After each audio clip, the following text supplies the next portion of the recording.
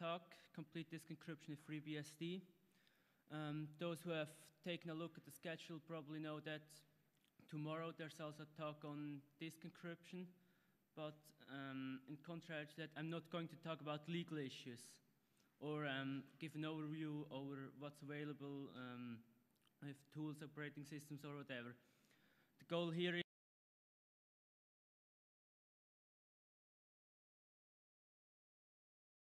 to work.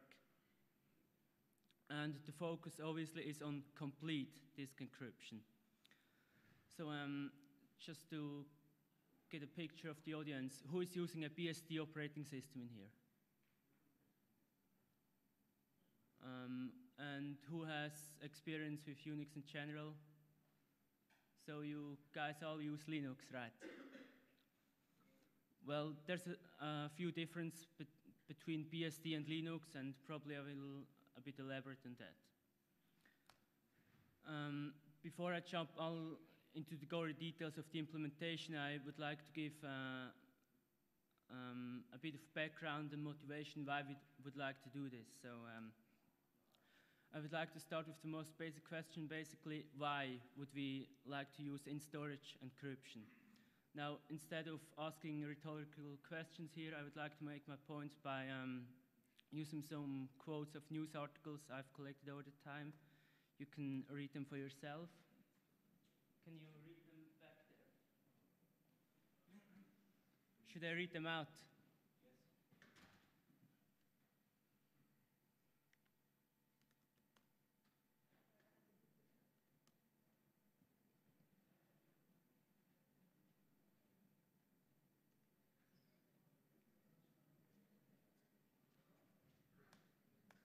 Is that better? Okay.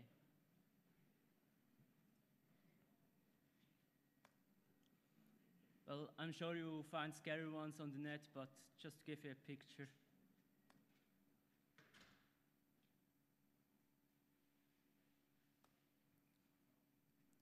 So, um, what's interesting about this um, news? Well, what they have in common is basically it doesn't really matter whether the firewall was properly configured, they had an antivirus software, um, whether they used the Redmond operating system or not. Basically, it doesn't matter because the attacker had physical access to the medium, in that case, the hard disk, the tape, or whatever.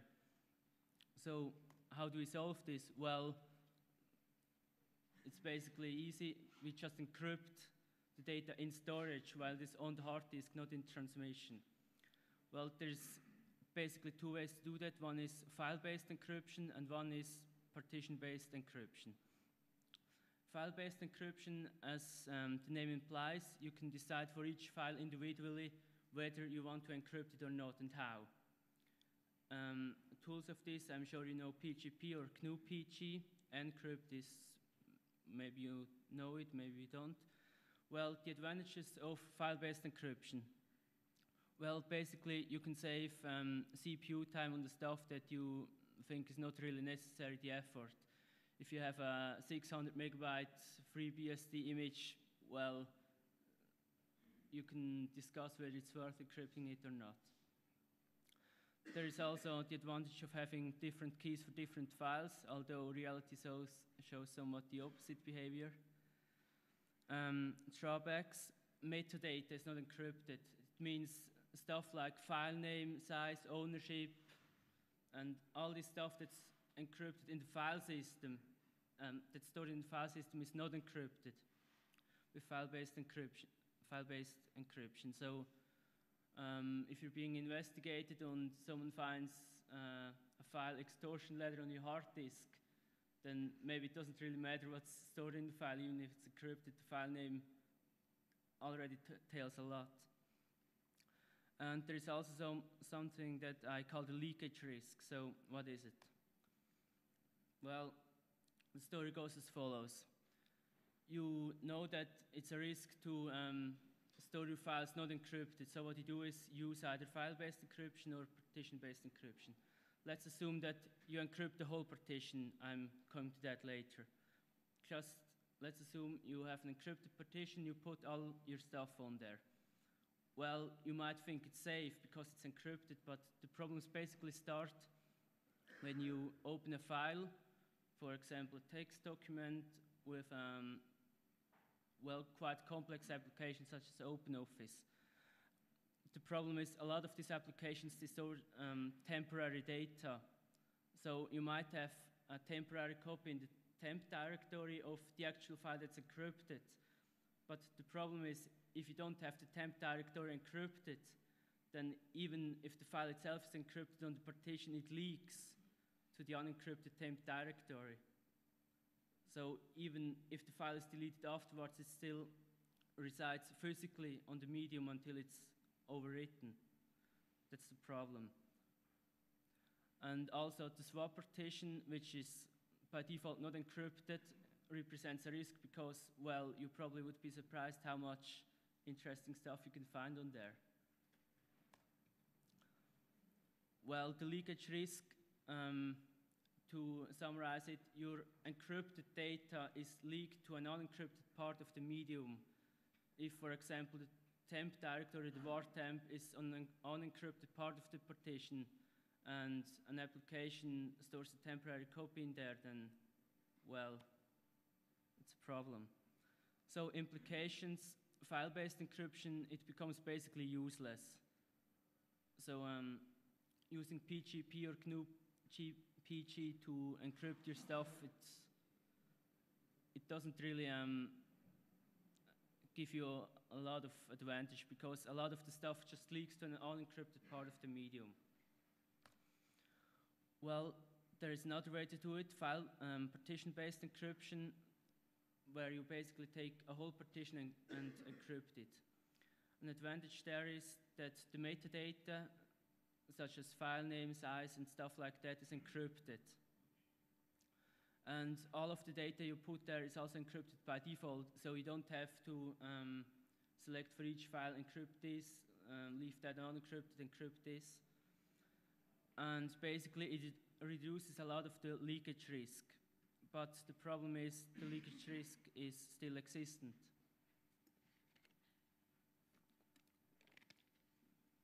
The main problem basically is um, what does actually go onto the encrypted partition, what does not. It's not so easy to tell.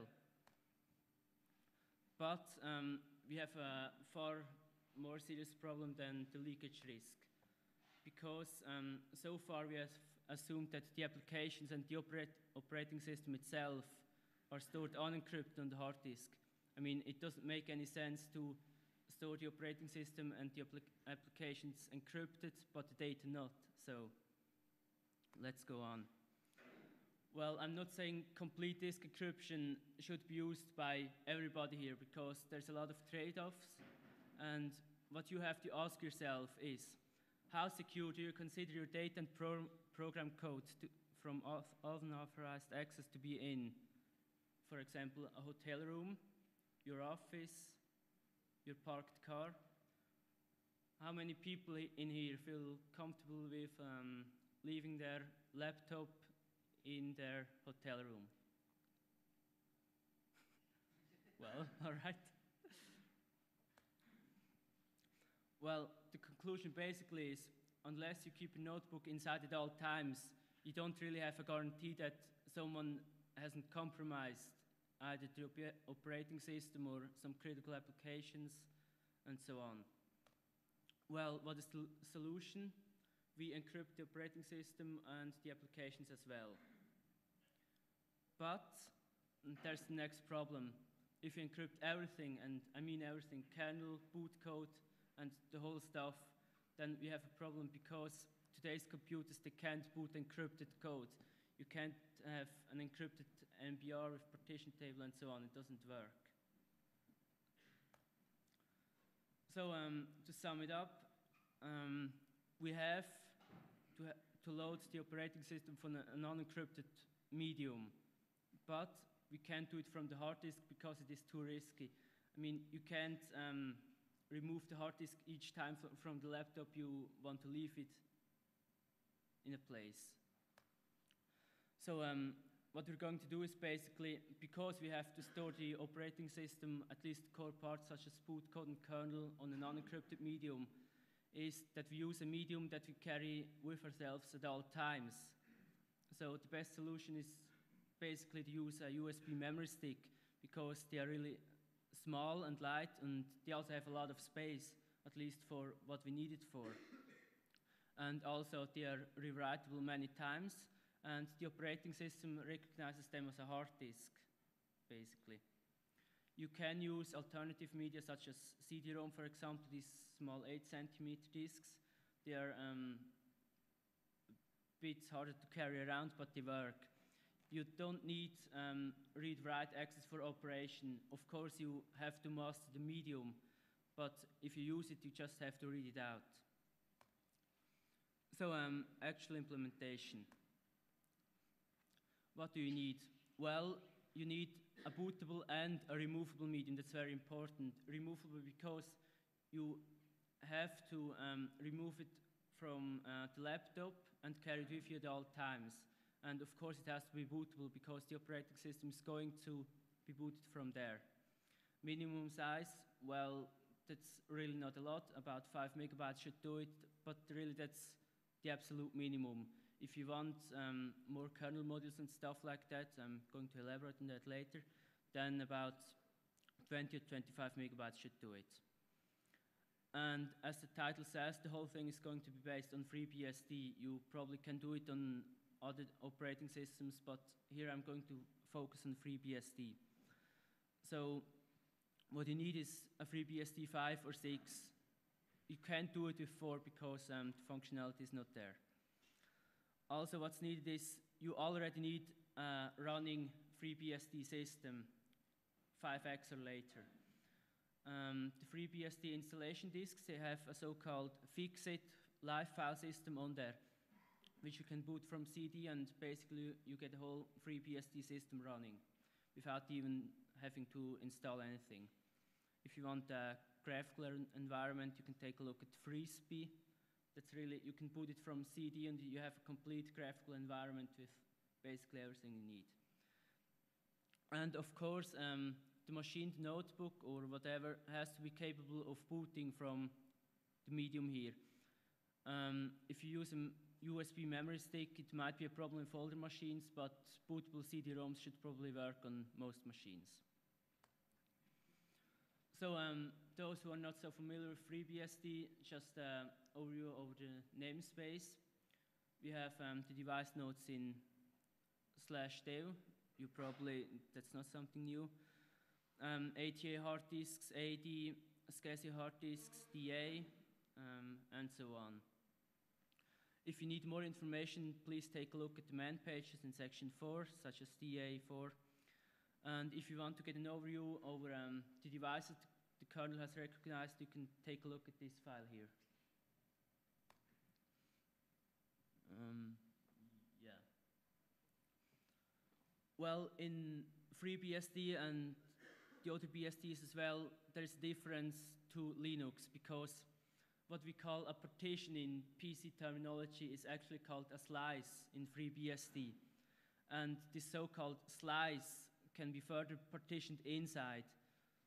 So what in PC terminology might be the primary partition is a slice in FreeBSD, and this primary partition can further be partitioned into, um, for example, boot partition, swap partition, and other partitions. So you can have the swap partition, the boot partition, and up to um, another seven, um, in total seven partitions inside a slice. Um, if you take, for example, an ATA disk that's AD and starts with zero, then you have um, the first partition in PC terminology is the slice S1, and then you have the boot partition, which is um, agreed on the letter A, swap partition is B, and so on. So DA1, S3B is the second SCSI disk, um, on which we have um, the third slice, and B is the swap partition. Um, if you're not familiar with that, um, please read the stuff carefully be before you start typing in stuff. Otherwise, you will erase the wrong hard disk, delete the slice, which is not supposed to be deleted, and so on. So um, if you're not familiar with FreeBSD, please check this out carefully. That's just an overview. And also the usual disclaimer, please back up all your data before you start. So I don't want to be responsible for any damages. I mean, the whole point is that we erase the entire hard disk and set it up new. Well, the assumptions, I will assume that you have an ATA disk in your hard disk that's going to be AD0 and the removable USB medium that attaches via USB bus as a UMass, as a USB mass storage medium. And FreeBSD treats it like um, SCSI hard disk, and that's DA0. So you have AD0 and DA0, so please um, check twice before you hit enter. And you also have to adjust them if, for example, use um, the second ATA disk, which is going to be AD1. Don't type AD0 if you want AD1.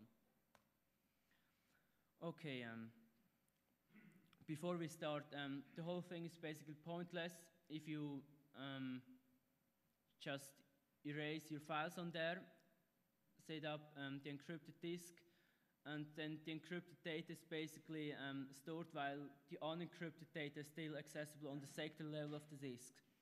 So what we have to do is basically we have to um, clean the entire hard disk. You can do this in two ways. Either you can overwrite the whole hard disk with zero values or with entropy.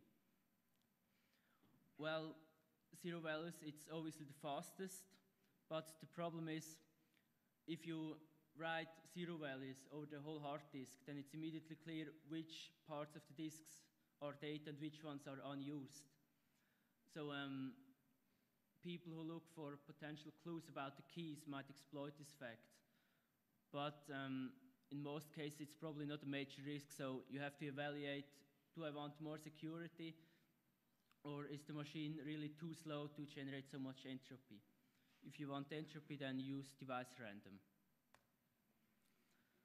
So um, if you want to do complete disk encryption, you have basically two tools in FreeBSD. One is GBDE, geom-based disk encryption, and the other one is GELI. GBDE was released in 5.0 and GELI in 6.0. And there is a lot of interesting um, basic improvements in GELI because you have different ciphers, AES, Blowfish, triple DES, you also have a variable key length. I think the maximum is 256 bits. In GBDE, you only have AES 128 bit. And basically, um, the most important difference between GBDE and GELI is that GELI allows the kernel to mount an encrypted root partition. GBDE does not, does not allow to do this. So we have to take a detour to make the whole thing work. But explaining this will also show you some interesting aspects in the booting pro process and how this stuff can be solved. So I don't know whether we have enough time to discuss both, but I will start with GBDE. The solution one is to have an unencrypted root file system. Please note that this is not, um, this doesn't um, stay in contrary to complete disk encryption because the root file system does not have to be on the hard disk. Now, um, solution with having an unencrypted root file system works with both GBDE and GELI, but I'm going to um, take GBDE as an example here. So we can discuss um, the second solution, which only applies to GELI. And this way you have no view over both tools.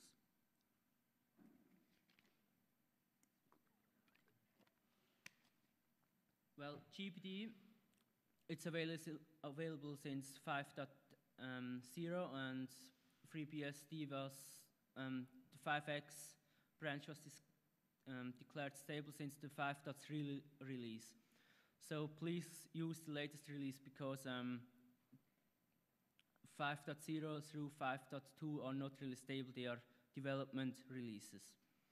The cipher is 128-bit AES, and a very important feature is basically that GBDE does not care what file system you put on there.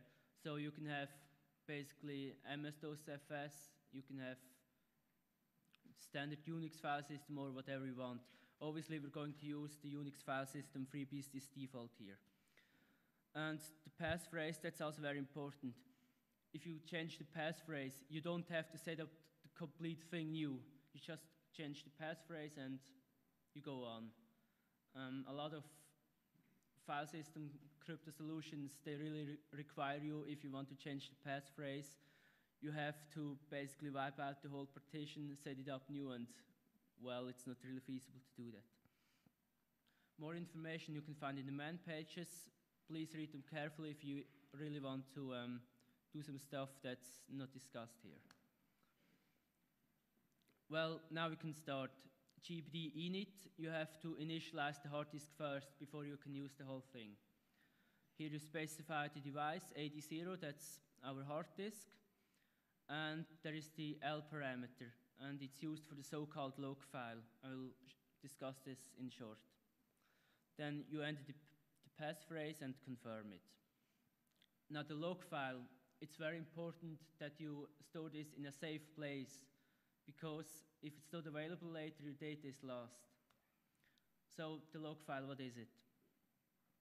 It's 16 bytes of data and it's required to get access to the master key.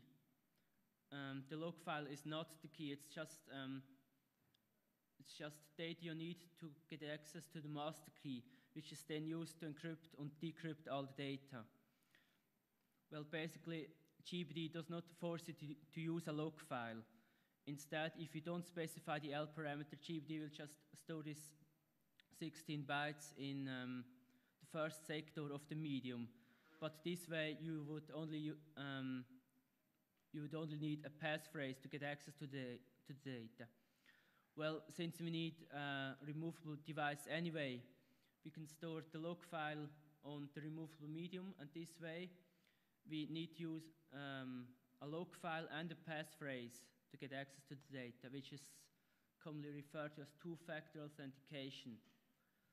So if you boot the machine up, you insert the removable medium or attach it.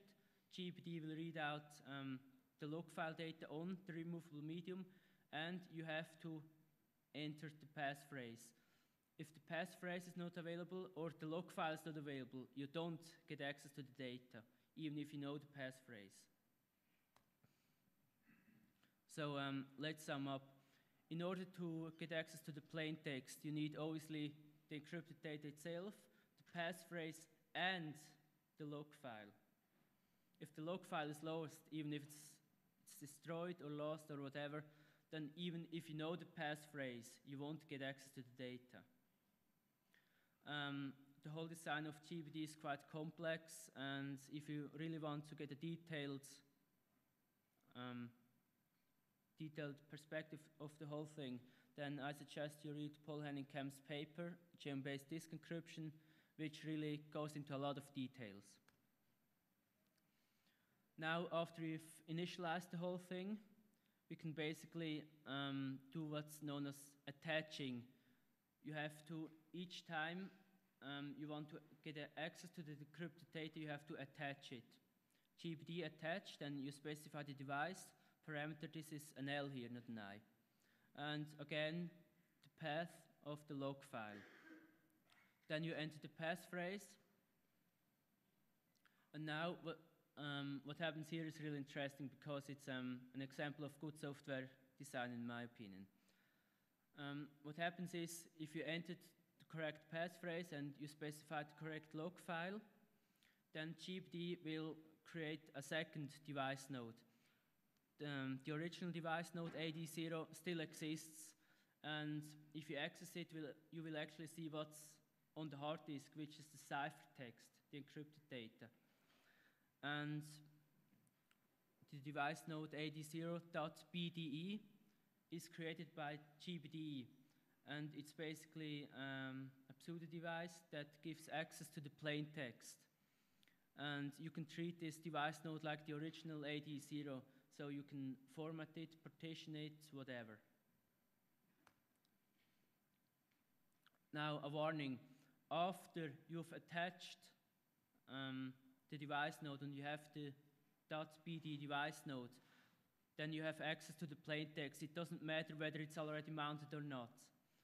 Um, you have access to the plain text as soon as you've attached the device. And it remains this way until you either shut the system down or you explicitly detach it.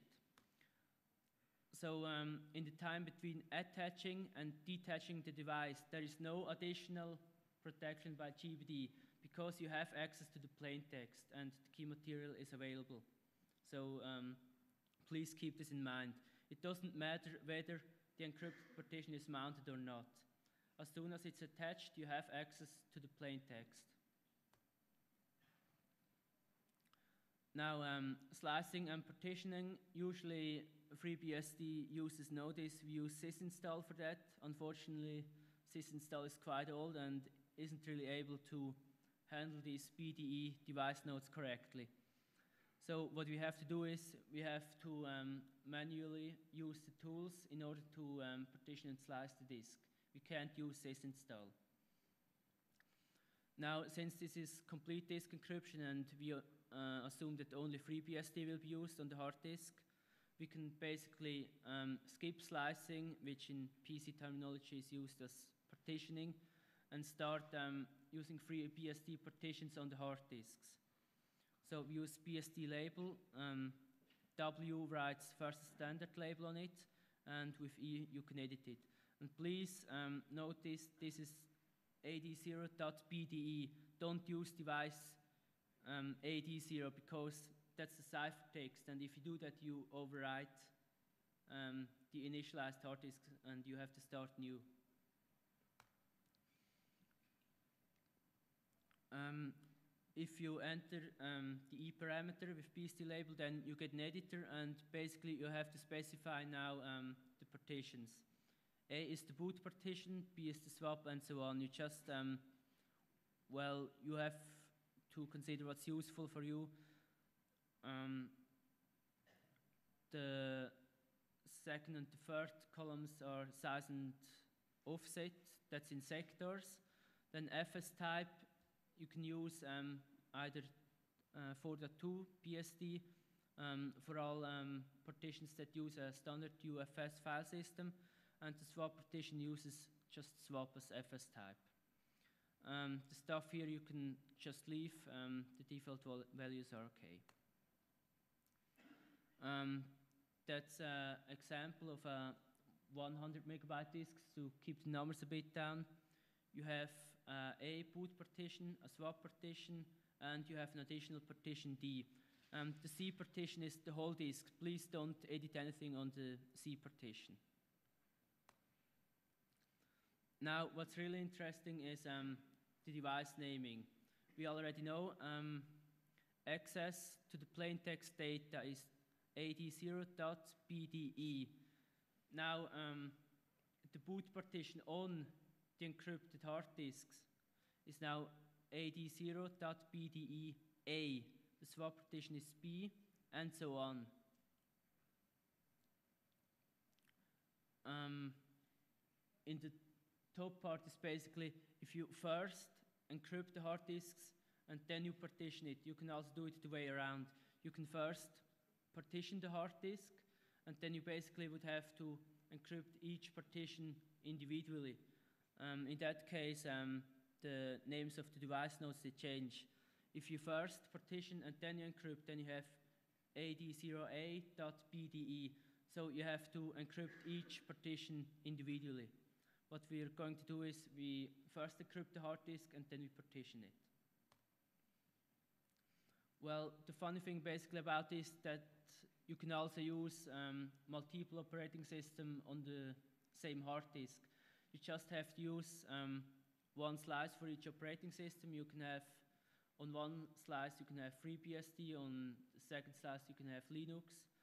And the slice where FreeBSD resides is basically, you can encrypt the whole thing. So even if you use Linux and you get rooted, the partition on which FreeBSD resides is still completely encrypted, so the attacker won't um, be able to modify the data to anything useful. Um, this is but um, this is a bit out of the scope of um, this lecture, so um, I'm going to really focus on complete disk encryption, where we encrypt the whole hard disk. now um, we've encrypted the hard disk and we have partitioned it, so we have the device loads. What we have to do now is um, we have to create the file systems. So new file system, device ad0.bde, A boot partition, the swap obviously doesn't need a file system, D, and so on. For each partition, you must create a file system.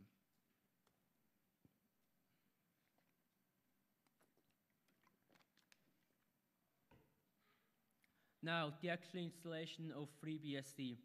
Usually would, we would use, again, sysinstall, but sysinstall again, um, well, gives us the finger and says you can't do that. Um, the reason for that is that um, the PDE device nodes are not listed by um, sysinstall, so you can't even select them. So what this means is we have to um, the various distributions that make up the FreeBSD installation, we have to manually install them and also do some post-installation is issues uh, such as um, time zone, keyboard web, and stuff like that we have to set up manually. Well, installing it. Yeah?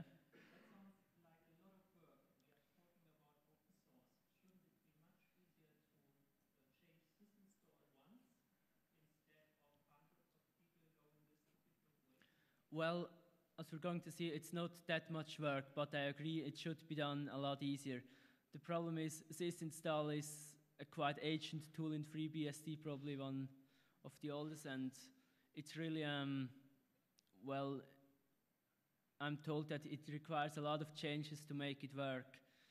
And there's also some stuff um, that people want to integrate and which just um, puts a lot of a lot of work to the developers and sysinstall is really not up to the task. There is now um, a project that um, that people work on a completely new installer for FreeBSD, so maybe there is some hope. But it, it's not that much work. Yeah. well, if you, is there another question? A backup? But you mean just copy an existing system on the partition? Well, you can do that. Well, just let me go on. It's not that much work to um, install the system. Well, if you use the, fi um, the Fixit live file system, I assume you have um, distribution of FreeBSD mounted on disk and the encrypted hmm? and the encrypted um, boot partition unfixed. So um, the way that um, the FreeBSD installation disks are laid out in the file system is you have um, a directory in the root of the CD-ROM, which is named after um, the release, for example, 5.4 release, 6.0 beta, and so on. And in there, you have um, um, directories which are named after the distributions, such as base, man pages, games, and so on. What you really need is base. You have to install that distribution. Um, actually, um, the installation scripts in, inside um, these distributions, they are really um, programmed smartly. So all you have to do is you have to export an environment variable, which is called test DESTDIR, and you have to set it um, to the location where you have mounted the encrypted boot partition, which is in our case device ad0.bdea, which is mounted on fixed. So we just type in this one, change into the directory. Um, base is um, the distribution we need, which is mandatory. And then you execute install sh. And this basically installs you the whole, um, all files that are necessary for running a FreeBSD system. If you need addition, additional um, distributions such as man pages and so on, just replace um, the base directory with man pages, games, or whatever, and re-execute the install script. It's not that much work. I agree it could be done a lot easier, but um, we just have to live that um, for now. So after you've um, installed the di distributions you want to install, um, you basically have, uh, well, a fully functional system on the encrypted hard disk. And the boot partition, um, the boot, the swap partition is also set up. But the problem is now, since everything is encrypted, we can't boot from the hard disk, which is um, what I mentioned at the beginning. So we have to basically set up the removable medium now, which is the USB memory stick, or if you want the CD-ROM image or whatever. Now, um, the removable medium, since this one is not going to encrypt, you can use this install for that. So just use fdisk, and the device here is device DA0, so please again note the difference. Um, size about 8 megabytes should do it. If you want all the kernel modules, um, use 25 megabytes or more. But um, with the current memory sticks, it shouldn't really be a problem with space. So. Um, Now, um, on the removable medium, we do not need a, um, a, swap partition because we're going to use the one on the encrypted hard disk. I'm going to assume that the file system on the removable medium is now mounted on removable. So if you run the whole um, sysinstall process, you create the slice partitions and create the file system. So in order to boot from the removable medium, we basically have to just copy um, the boot directory from the already installed system on the fixed hard disk to the removable medium. So copy um, the whole thing. Fixed is now the hard disk, the encrypted boot, to um, the removable medium. Now um, the kernel modules. Linux also has kernel modules, so um, I assume you're already familiar with that. Um, on FreeBSD, it works as follows. You have basically uh, executable which is called the loader. You have, um, if you switch on the computer, then the BIOS will read out the master boot record on the hard disk. Then, depending on which slice or partition PC terminology you select, then if you select the FreeBSD slice, then um, boot code will, um, will read out the disk label. The disk label will read out the loader, and the loader will finally give control to the kernel. So um, the loader executable will first read out the file bootloader.conf, which lists the kernel modu modules which have to be loaded um, when the kernel is loaded. The problem is um, if you use GBDE, you can't load um, you can't load the kernel module after you've executed GBDE. There is um, a kernel module for GBDE and also a userland utility. But you have to load um, the kernel module before you execute um, the userland utility. So you have to just um, add an entry for GBDE load into bootloader.conf. Now, um, the modules which you don't need, um, you can delete them if space is a problem. Um, one cool thing about um, FreeBSD booting process is that you basically can gzip everything. You can even gzip the kernel and all the modules, and it will still work. The problem is not so much um, the space, but um, the loading time. If you boot from a USB removable medium, then even if you have USB 2, um, the protocol here in, um, that BIOS speaks is just USB 1, and the loading time is really um, a bit slow, so it's important to really compress um, the whole boot code as much as you can. And one important thing is please do not mix um, different versions on the removable medium and the fixed hard disk. So if you boot uh, 5.4 kernel from the removable medium, please don't load um, 6.0 modules from the hard disks or vice versa or whatever. You will get into problems.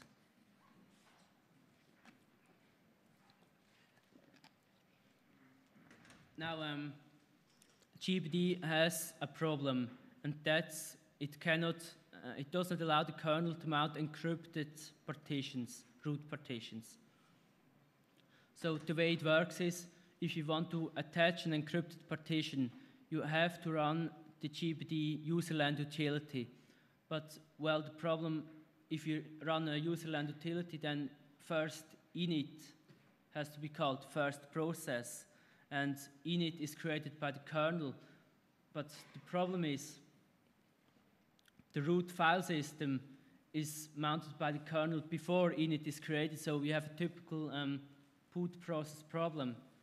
So the only conclusion basically we can make is that we cannot use an encrypted root file system if you use GBDE. Now the solution, well, we create a memory disk. And this memory disk we can use as the, um, as the root file system. And on this memory disk, we basically put all the stuff that's necessary to run the GBDE userland utility and then to mount the encrypted partitions in a directory of the memory disk. And then we load the whole stuff off the encrypted hard disk. So that's basically the idea if we um, have to use GBDE? Well, the memory disk, just create an image first, about 10 megabytes should do it. Then we need a device node. This is um, FreeBSD specific, I guess. Um, after you have the device node, just um, create the file system on it and then mount it. I will assume that um, the memory disk is now mounted on memdisk slash memdisk. Now, what you need, since um, the memory disk is going to be mounted as the root file system, you obviously need a directory where we can root the encrypted boot partition. So I will assume that we use um, the directory safe for that. Now you need additional dire directories which serve as mount points, such as CD-ROM, very important device, disk mount, and etc. Now, what we need um, on the memory disk on ETC is basically the RC script. And again, here comes the log file. We have to copy the log file from um, the location wherever you started um, at the beginning now onto the memory disk because um, the memory disk is going to be rooted as the root file system and we execute all the stuff on that and provide the log file to GBDE. And also very important, please notice, um, each time you change the passphrase of GBDE, the contents of the log files of the log file changes. So it's going to be 16 bytes, but the content changes. So if you change the passphrase to the encrypted um, hard disk or partition or whatever, then you have to update the log file on the memory disk. Otherwise, you won't have access to your data anymore. Now, after the kernel has booted up, um, loader passes control to the kernel, and the kernel in turn um, executes init, which is the first process. Init in turn calls RC, and the important thing about RC is it's not a binary, binary executable, it's um, a text script which, which we can easily edit. So what we do is basically we modify the RC script we add a few commands, um, only the stuff necessary to attach um, the encrypted partition, mount it, and then load all the stuff, basically RC um, will continue loading the whole stuff off the encrypted hard disk since we have attached and mounted it in the RC script. What we need for that is um, GBDE binary, mount of course, and some other stuff. Well, all these um, important tools can be found in the so-called rescue directory, which is part of any FreeBSD installation. And the important thing about that is that it's statically linked binaries, so you don't have any dependencies on libraries. If you um, execute GBDE binary, then you only have that binary. You don't have dependencies on libraries and whatever. So we can just copy um, the whole rescue directory onto the memory disk. But um, since the whole tools are just hard links, we have to use tar. We can't just copy them onto the memory disk. Otherwise, we have about 470 megabytes of code, all the same binaries. Now, um, after we've done that, basically, we have um, the removable medium is now bootable. The loader calls the kernel, kernel calls init, init calls RC, and RC then mounts um, and attaches the encrypted hard disk. But after that, um, the memory disk is still the root file system is, uh, and is always going to be um, until the system is shut down. So what we need um, on the memory disk is basically um, symbolic links pointing from the root on the memory disks to the actual directories on the encrypted hard disk. So we have to just um, create symbolic links to where um, safe the encrypted boot partition is mounted. So for example, um, we have to make sure that um, the SBIN directory, which is now in safe SBIN, has an entry in the root. So um, all applications, kernel finds the files. Now we have to glue the whole thing together. Now, I already mentioned that we have to um, modify RC, the RC script which is on the memory disk. Now, you have, um, maybe it changes with um, the releases, but in 5.4 release, it's slide 51. You have to insert the following commands. As I already said, we're going to use um, the executables in the rescue directory, gbde attach, um, AD0 device, and then specify the log file. The log file is now on the memory disk. After we've attached the whole thing, we obviously have to mount it. AD0.bdea is the encrypted boot partition on the hard disk, and we mount this on safe, which is a directory on the memory disk. After that, um, this one is 6.0 specific. I don't know why, but for some reason you have to enforce um, write access to the memory disk. I don't know why, but it's got to be. Now, after that, we can basically remove the etc directory from the memory disk.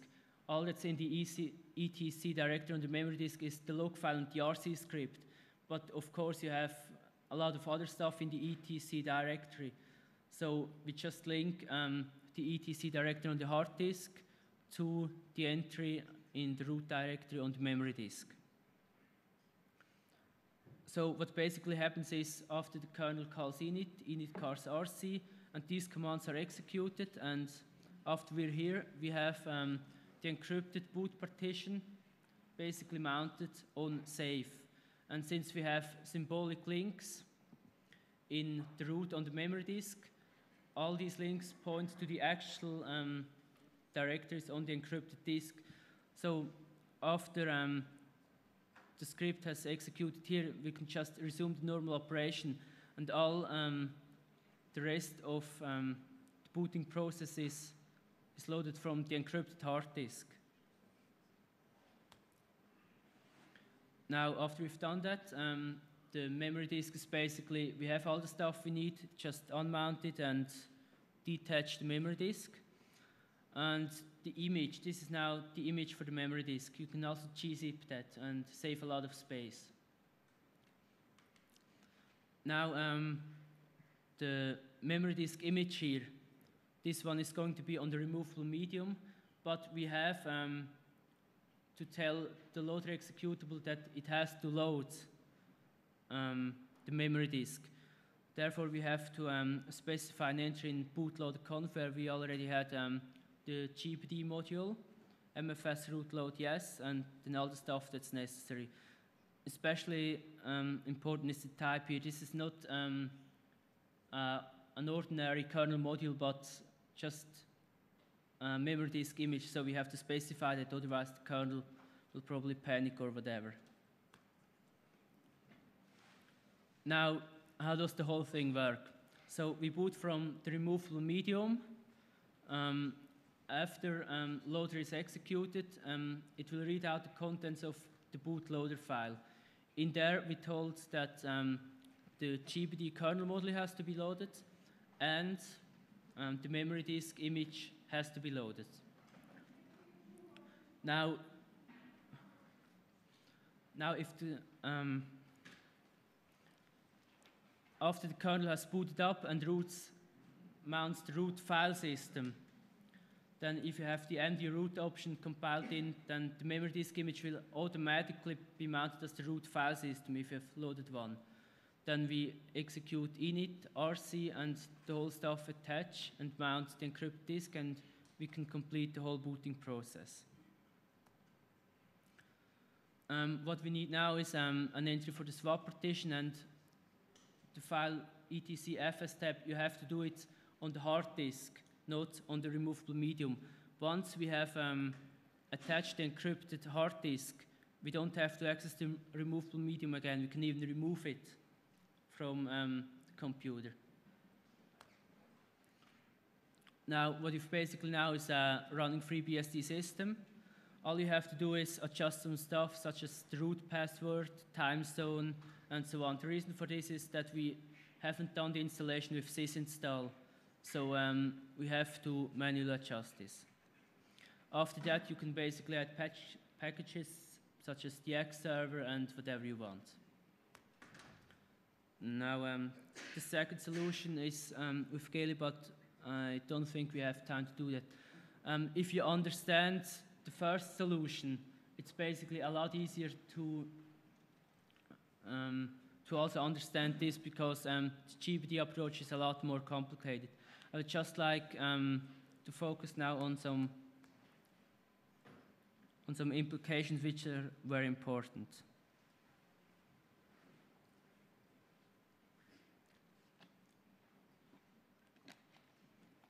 So now you've got the system, complete disk encryption, and you feel completely safe, right? Well, not exactly. Um, I want to really tell you um, what's protected and what is not. So um, um, how does the whole thing work? Well, I already told you, attach the removable medium, we boot from it. And we use the removable medium because um, we cannot trust um, the unencrypted boot code on the hard disk. We have to boot unencrypted code but for that reason we have to put it on a medium which we can carry on ourselves at all times. So after we've booted from the uh, removable medium, we mount the encrypted hard disk, and the hard disk is encrypted because um, we do not want to look after the whole thing all the time. So basically, after you've booted from the removable medium, you have to really detach it and back in your pocket because um, the whole code is unencrypted on the boot medium, and if someone manages to compromise it, we are back where we started, so the problem hasn't really been solved. So it's really important that you look after the removable medium because the code on there is not encrypted. You have the kernel and a lot of other um, critical code on there that if it gets compromised, we're back where we started. Um, yeah. Now for your own safety, this is very important. Um, Again, you need the passphrase and the log file and obviously the data to get access. So if you're afraid that you um, forget the passphrase, it's very important that you choose a strong one, but if you are, are, afraid that you forget it, then please write it down. It's better to um, write it down than to not have access to your data anymore. But please notice that you keep it apart from um, the removable medium and the machine itself, so please lock it in a safe place and also the log file. If it's destroyed or lost or whatever, you don't have access to your data anymore. So if that's, it's certainly a risk. So um, you should make a copy of the log file, but um, you shouldn't put it anywhere near um, the machine or wherever someone has access to, um, to it. Basically, if someone manages to um, get access to the log file, all they need now is um, the machine, they have to steal the laptop, and they have to know the passphrase. Well, the passphrase, um, it's a bit difficult to keep that secret if you have a mobile device. Each time you boot up the machine, you have to type in the passphrase. And if someone manages to look over your shoulder, then, well, it's, I'm just saying it's very difficult to really keep the passphrase secret on a mobile device. So um, the log file basically gives addi additional protection because you need to access it to the data, so keep the log file safe. So what does complete, complete disk encryption not protect from? Well, um, you have the whole hard disk encrypted, but um, the problem is really um, what happens with all the other media. If you have um, uh, external hard drive attached, then you mount it into um, the whole Unix namespace. And the problem is, um, in Unix with the mount facility, you can't, it's hard to tell which me medium actually holds what data. So um, it's very easy to forget, for example, that this directory might be actually an NFS share on a server that's not encrypted with a connection that's not encrypted. So it's very easy that data still leaks actually to a different place than the encrypted hard disk. So always consider that. Now, um, I've already mentioned disk. As soon as um, a partition or a hard disk is attached, it's um, vulnerable. It's um, you have the whole plain text available, and it also means you can compromise it. You don't have to mount it; it just has to be attached. So as soon as it's attached, it's um, vulnerable to local and remote attacks. Now, as the OS, um, the operating system partition, the boot partition must always be mounted. Um, it's always vulnerable to compromise, local and remote. So as soon as you've booted the system up, the, the boot partition on the uh, encrypted hard disk is not really um, does not really have any additional protection. So please consider that. The main protection you have is when the machine is turned off. So um, it's also important to consider that you can't really um, prevent data destruction by encrypting it. There is no, um, there is not any protection from data destruction, either accidental or intentional. Now, GBDE and GELI, they cannot protect against attacks that are um, aimed at the hardware. So if someone installs a hardware keylogger, then the whole problem, well, you don't have any protection. And I'm not trying to address this because it's a really difficult issue to solve. So what it does protect, well, if um, the hard disk is not yet attached or already has been detached, then the key is not available and the plain text device node is also not available. So even if the system is up and running, but you have an additional partition such as home, for example, you haven't attached it and you haven't mounted it, then the plain text device node does not exist and the data on it can't be um, changed to anything useful. So that's a protection you have, it's not attached. Now also, since the whole hard disk is encrypted, you don't have um, the risk that anything might leak to an unencrypted part. So you don't have to worry about OpenOffice leaking your um, secret document to the temp directory or whatever it goes. You also don't have to worry where browser caches are actually stored and how much data there is, so um, you have the whole hard disk really encrypted. And also the swap partition is now encrypted, so um, a lot of critical data you might find in there cannot really be recovered unless you have the key, uh, the passphrase, and the log file. And you also cannot simply um, remove the hard disks or the hard disk and read it out on a different system because you have the whole thing encrypted. Now you have a few trade-offs. Um, performance, obviously, um, decrypting is not a big deal, but encrypting data requires quite a lot of um, CPU cycles. So the problem we have basically is that input and output operations, which were previously um, mainly independent independently done of the CPU are now, now um, tightly coupled to um, the CPU power because each um, read and write operation has either to, to be decrypted or encrypted. So um, the maximum performance may not be um, the actual bandwidth of the, the device, but um, the power of the processor. And administrative work, obviously you have to, to set up the whole thing. You also have to maintain it. If, uh, if you do a system upgrade, you have to do a lot of steps um, that were initially done. You have to repeat them. And there's also the convenience. Um, booting off a removable medium is typically slower than booting off a hard disk. and you also have to um, type in the passphrase each time, which may be a bit inconvenient, but it's a trade-off, so you really have to consider is it worth it. Now, complete disk encryption um, protects against two specific attacks. The one is that you just um, remove the hard disk from uh, the system and install it in a different system and read out the contents. You can't do that anymore if the whole hard disk is encrypted. The problem is, um, another problem is if you have only one part, just the data encrypted, but not um, the operating system and the applications. You can compromise the applications at the operating system in order to leak actually the encrypted data or the encryption key. Now with complete hard disk encryption, you can't do that anymore because the operating system and the applications are now encrypted too, so you don't really have that problem anymore. But really, these two basic um, threats, they are really the only one which complete hard disk encryption protects. You have a lot of other issues that are not solved, so keep that in mind. Well, summing up, yeah.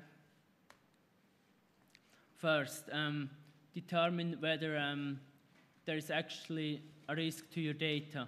If you just um, use it at home, keep it uh, locked in a safe and use it for um, checking the weather, then you probably don't need to encrypt the whole hard disk.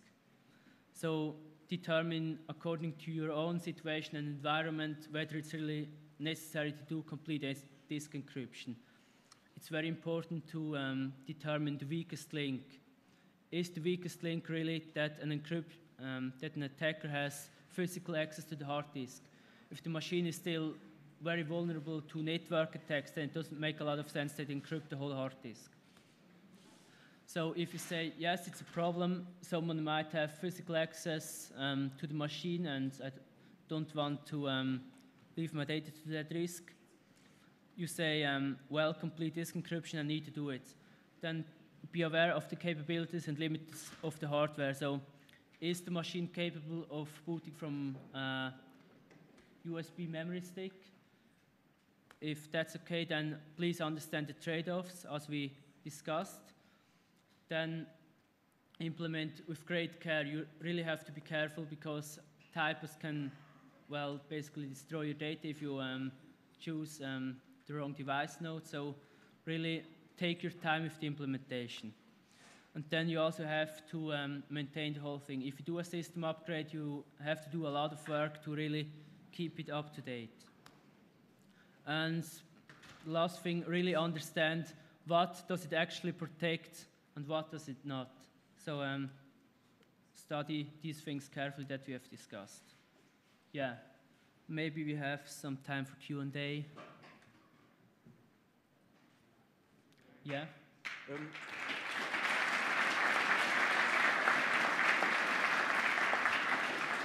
if you um, if you compare this with um, things like Loop loop-AES or things like that, you I, I, think that the log file is a contains the symmetric cipher, and you need an asymmetric cipher to um, decipher the log the symmetric cipher that uh, ciphers your disk actually. Is it? Uh, do I understand it right, or is it something different? I'm sorry. Can you repeat the last sentence? Um, okay, or I will we will ask another way. Normally you have a symmetric cipher, maybe AES or something, and you have a key for this. And this key is encrypted with another key with asymmetric cipher, and um, the key file is stored somewhere. And I understand it, and I understood this in the way that the log file is the symmetric cipher that is encrypted by an asymmetric cipher. Is it correct? Well, um, the whole GBDE thing is quite complex, and I haven't really got into um, the details of the implementation.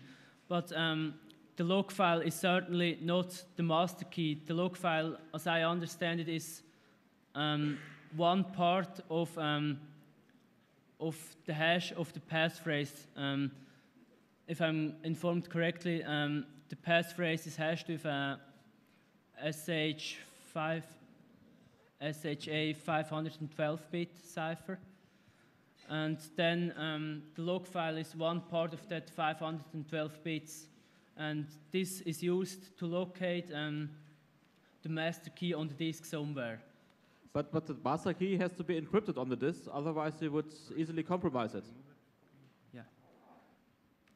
Well, if you're interested in the details of GBDE, um, then I suggest to read Poul-Henning Kamp's paper. Um, I really don't know the details of how the whole thing is programmed and organized. The design of GBDE is quite complex.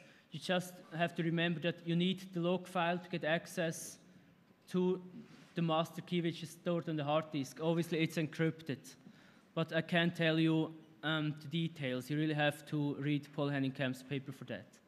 Okay, we have to finish now from, in favor for the next workshop. Maybe you can just uh, answer to questions outside.